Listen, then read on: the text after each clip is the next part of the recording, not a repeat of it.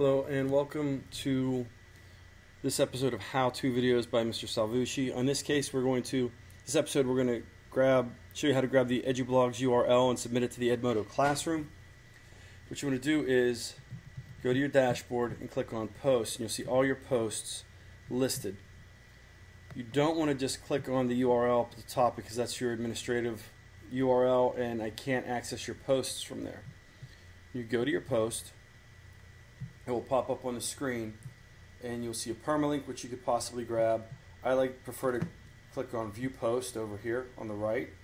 It's about the middle of your screen if you have the whole page open. Then you copy the URL that's up in your uh, address bar up here. Go to Edmodo. Now that I have my URL, I'm going to go here into my Edmodo classroom. This is an account I set up for my daughter. And let's just say that the post was the authenticity reflection assignment. Authenticity is misspelled. That happens.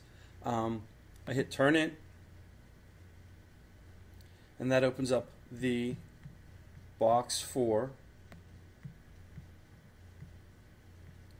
the assignment.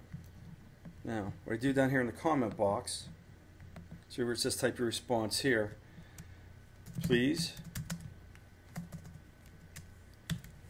grade my blog. I'll ask you what you think of the assignment. You put a little emoticon, whatever one you like. Now, if I put the, if I paste the URL into this comment box, I won't see it whenever you turn it in. It will not show up on my screen. You have to come down here and click on link. And the two ways you can do it is either um, Command V to paste, or you can right click and paste, hit attach. It'll automatically feed the web page site in is the title. Click attach. And then over here on the right hit turn in assignment. You've successfully successfully turned in the assignment to me through Edmodo. So whenever I, whenever I click on your assignment, I can see it's turned in. It'll take me right to your blog post and I can grade it quickly and efficiently.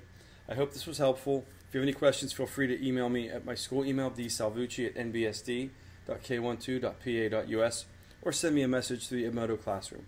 Thank you.